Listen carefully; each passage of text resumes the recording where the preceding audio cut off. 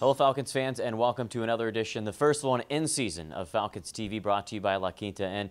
And we're only bringing two goal scorers in for our Falcons TV to start. We're going to bring in Lucas Lessio, who had a two-goal performance last night.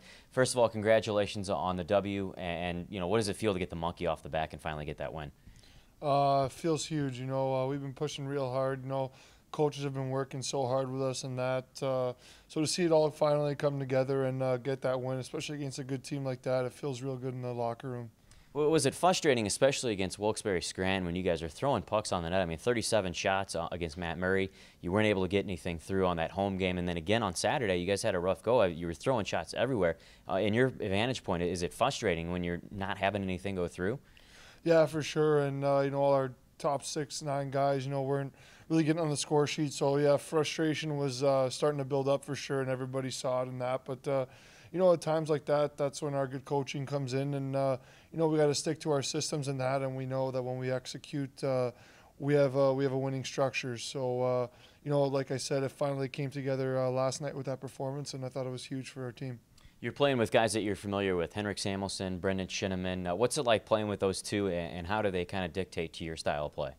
Well, they're great players. You know, I think we all complement each other. You know, we all bring a different asset to the line in that, and we work well together. Obviously, we had a pretty good game last game, the three of us. So uh, for us, it's just building on uh, what we did last game and uh, hopefully uh, having having another good one tomorrow. And welcome to Springfield. First off, uh, it, it's uh, you know a new experience for you. You played with Portland prior. You played with Arizona last year as well. you know, what are some hot spots that you're going to in Springfield, and how do you like it?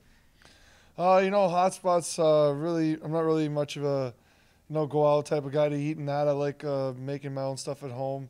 But uh, the place we were going to was uh, that Theodore's place was uh, pretty good that we went to. Um, uh, uh, Bruce had a friend there that owns a Hofbrauhaus. Mm-hmm. that was a really, really good spot. Uh, really good owner there, really nice owner. So I'll probably hit head there a few times more for sure. But yeah, you know, just starting, just kind of getting familiar with the city still, and you know, just yeah, but more of a home guy, especially with eating and that. So, what's your go-to meal that you cook? Uh, we cook a bunch at home, but uh, probably before a game, just uh, I guess pasta and chicken, pretty standard. You know, um, like a lot of salads, greens, and that. So, uh, so yeah, I'm a pretty standard guy when it comes to that stuff. You also got uh, a little bit of a music background too. Uh, you know, talk about that. you're a little bit of a DJ, right?